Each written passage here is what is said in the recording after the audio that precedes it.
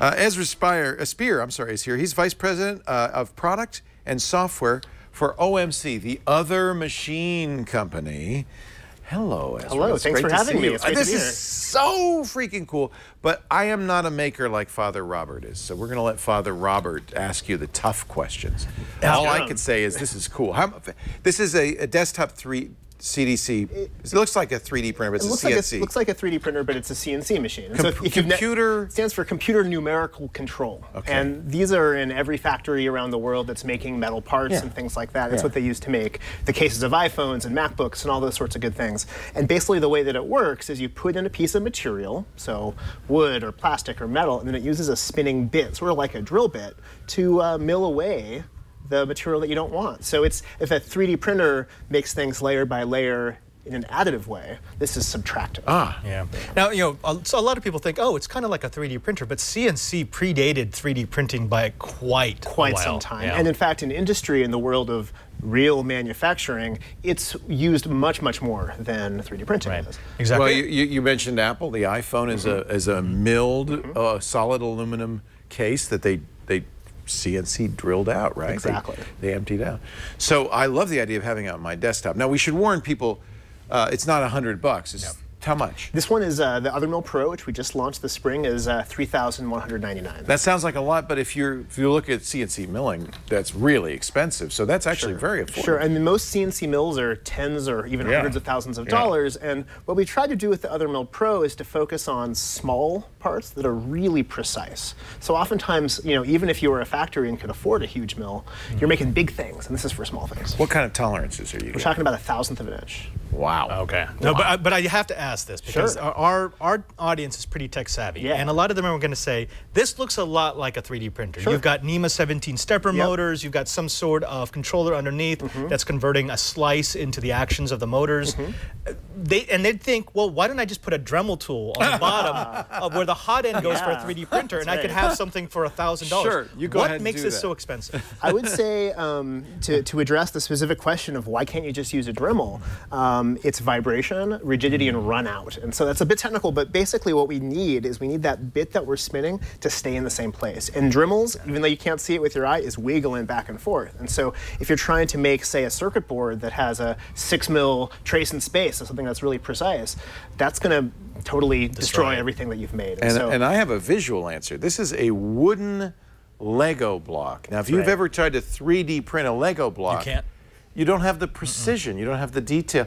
This is exact. These work with regular Legos. And what I love about these Lego blocks, these were sent to us by a customer, Andy Wilson, who didn't have a whole lot of experience with CNC when he started. He This was his taught first- himself. This wasn't his wow. first project, but he actually how has done a bunch of that is. That's Instructables and a bunch of other things. So, You you can 3D print Lego blocks, but they would never do that. They wouldn't You- fit the together tolerances are never Right. right. Right. And you know, one of the, the challenges with a CNC mill like this is that you're milling from the top. So you, you Hmm. can't, unlike a 3D printer, you know, 3D printers you can't have overhangs. It's sort of you're only milling from one direction. And so he actually had to mill this in two steps. He Yeah, milled of the course. tops and the bottom Yeah, that separately. makes sense, yeah. It all lines up. It does. It's perfect. It's amazing. Now, could I take, say, an STL file that Mm-hmm. I used for a 3D printer and then just move it over to this using a different slicing program? Uh, Kind of. It's a- Kind of. The world of CNC is a, is a little bit behind the world of 3D printing in the software workflow. Okay. And I can show you um, when we do the demo, but uh, in, in this case, you need to use a kind of software called CAM. And so basically, you take your STL file or your step file, and you have to convert it into tool paths. And tool path are, paths are just the, the you know, geometry that the, that the bit is going to cut out. And the reason why that you have to do this yourself is that the machine doesn't know what kind of material you're using or what bit you're using. Right. With a 3D printer, there's usually It's one or two filament. kinds. It's always PLA, filament, it's ABS, It's it's one of the ABS. You just choose Yeah. one or the other. Um, but with uh, a a mill, you can choose an eighth inch bit. You can choose a tiny one one hundredth inch bit. If you try to cut with a tiny bit into a piece of aluminum and it's going too fast, you're just going to break it. So- Because for me, I think that would be that's that's the holy grail Mm-hmm. of printing, which would be fast prototype something, Right. something on a 3D printer. Once it looks the way I want it, Right. then I put it on the more expensive machine and I make that final cut out of copper or wood whatever it's Exactly. going to be. So a lot of our customers use the Other Mill Pro to make circuit boards. And Mm. if you've ever made a circuit board by hand, Yeah. You know that it's not a very pleasant It's, experience. it's kind of cancery. You get Yeah. yeah. you actually can get cancer from Yeah. the chemicals you need So to etch. these these are plastic boards. They have metal on top, copper conductive metal on top, and the idea is you That's so you want to etch the copper where you don't want it to conduct, and you would do that with chemicals in the past, right? Right, yeah, you'd put, it's light sensitive, so you would put the trace down of, uh, of what you want, and then you would shine light through it, Oh. and then you would give it a chemical bath, and wherever the light landed, it would, it would eat away. Interesting. Yeah, so in this case, I just take this and I go ahead and I, I tell this to Right. dig through the copper down to the substrate, and that becomes the, So my blank space. It's almost like engraving the board. Exactly. And so what you, you're holding right now is what we call the Otherduino, which is a open source design that we made that is a clone of an Arduino. So you can make your own Arduinos. I actually have the uh, PCB layout open on, on my computer screen. But what's so great about this is you don't have to do the CAM. So our software takes the Eagle board file or the Gerbers, just the normal design files that you're using, and does all of the feeds and speeds and tools and stuff for you. So it's really easy. Now this this was also a bane of mine. These little through holes Mm-hmm. because that was always something I had to drill out afterwards, Yeah. and, and it was horrible if you did a, a design and then you messed it up because you drilled it out poorly. You Oh, Right. cracked the board. Right. Did did you have to post process this? No, it just comes automatically. So it does the holes for you. Oh yeah. Oh, okay. Very, Um, very. So you're easy. engraving and you're drilling. drilling, you're doing all that stuff all together. And so for us, you know, this is sort of an Arduino, it's sort of a, a maker kind of project, but a lot of professionals use this too. That's why I call it the Other Mill Pro. When we were going to design the Other Mill, we had to. Is that real speed? Is that or is uh, that sped up at That all? was, I think, that was real speed. Wow. Um, the Well, why don't we do something while we're Yeah, talking? totally. so we can actually see the real speed. absolutely. Well, let me show you. Aren't um, these gears amazing? Yeah, know, so and that's that's the the thing. The bunch of stuff precision you have and the materials you're working with. It's not PLA. This is metal. That's brass. brass. I have some uh, aluminum over on the table. This is one of my favorites. This is a wood inlay. So it's uh, wood, um, and then that's mother of pearl, like you'd use for a fretboard. Oh, that's gorgeous. guitar. So they engraved out the wo- the wood for the mother of pearl, Right, and then engraved the mother of pearl. and then cut the mother of pearl to fit it. And there's no glue. It's just holding in there by. That's a really good example yes, of where that it. precision really comes in handy. So what are you going to do for us? So today? what, today, what I'm going to do is to show you something really fast and simple. Um, we're going to do a uh, Twit engraved dog tag. okay, you So got a these little are- anodized aluminum. endless uh, aluminum. All right. So um, what I've got, um, what I want to show you is sort of the whole process of design to manufacturing. So on my screen, I'm using uh, a piece of software called Autodesk Fusion 360. And Okay, it's a yeah. really popular, really fantastic, free for hobbyists, a 3D design program. So what I did here is I modeled sort of this rectangle, which is the shape of the dog tag, and I loaded in a SVG file of the logo, and I placed it on here sort of where I want it to go.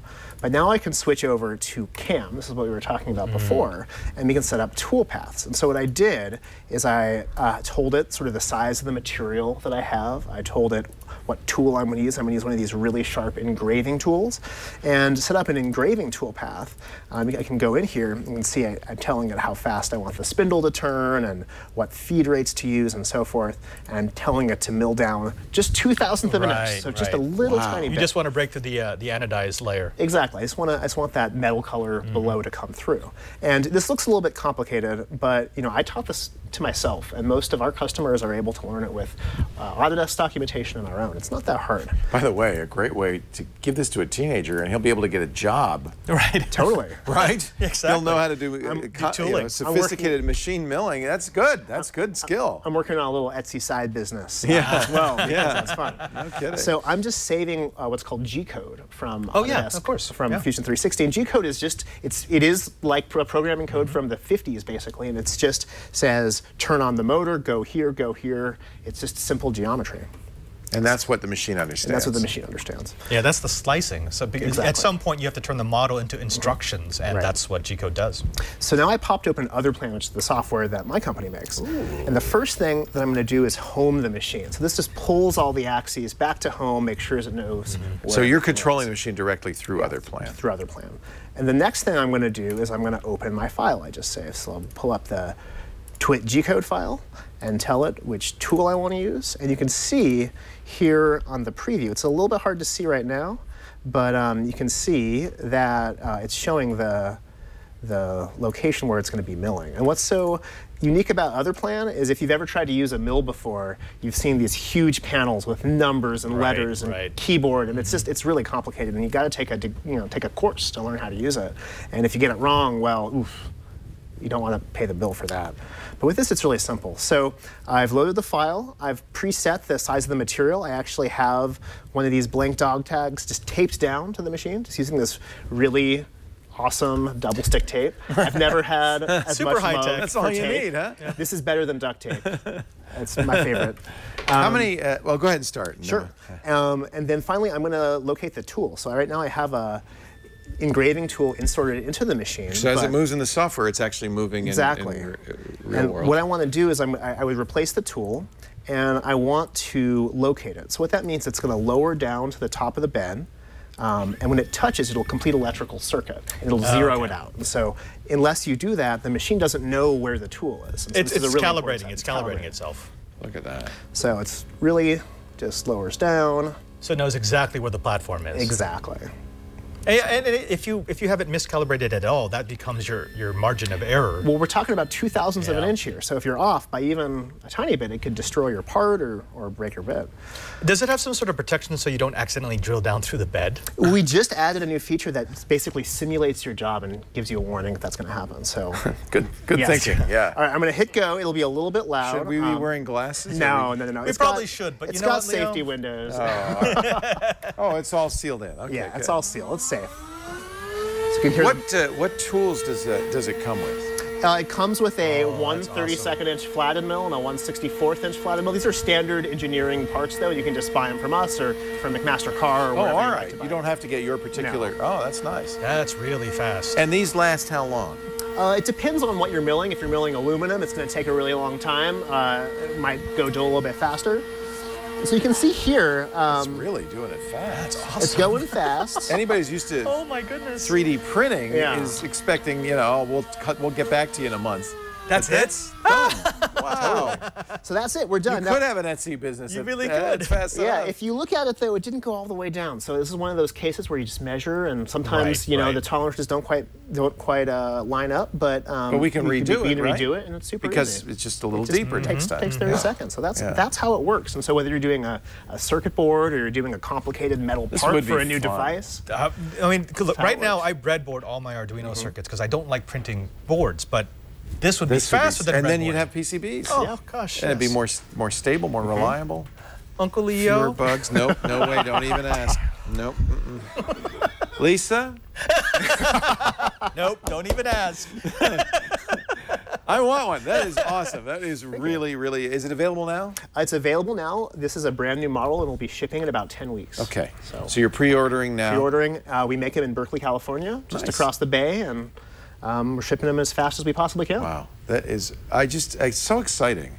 Uh, the world we live in, and boy, if you look at like I, you, s- I said buttons. They really. I meant buttons. These are metal buttons.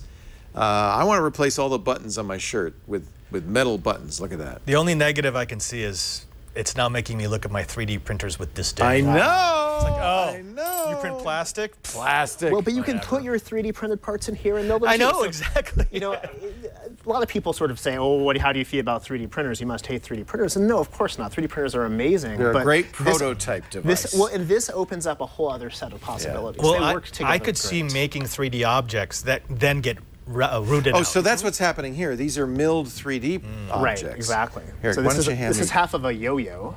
Oh, and this you know what? a It's so much more precise and clean than the 3D original. So that's half a yo. there. That's only the yo. That's the yo. That's the yo. Here's the yo. There's but the other feel how clean that is, I know, right? right? You can actually get the files for this on Instructables. There, there are no 3D printers that will print this smooth. Mm-hmm. Uh, So you print all. it, uh, you know, kind of normally, and then you just refine it a little bit with the uh, with the other. Sure. Well, that Very was that was fully milled. On This the- is fully milled, Yep. so it's just a chunk of plastic. See, this would change the way I do my design because right now I assume that the tolerance is going to be slightly off, so Right. I, I kind of enlarge my prints Right, a tiny bit. right. Mhm. I wouldn't have to do that. If, if I could say three three millimeters is going to be exactly three millimeters, then I print exactly the part that I need. A lot to be said for precision. Ezra Spier, thank you so much. VP Product and Software for Other Machine Company. What's your website? Othermachine.co. Other Machine. Dot, well, that's easy. Othermachine.co. Thanks so much for being Thanks here. for having me. Appreciate it.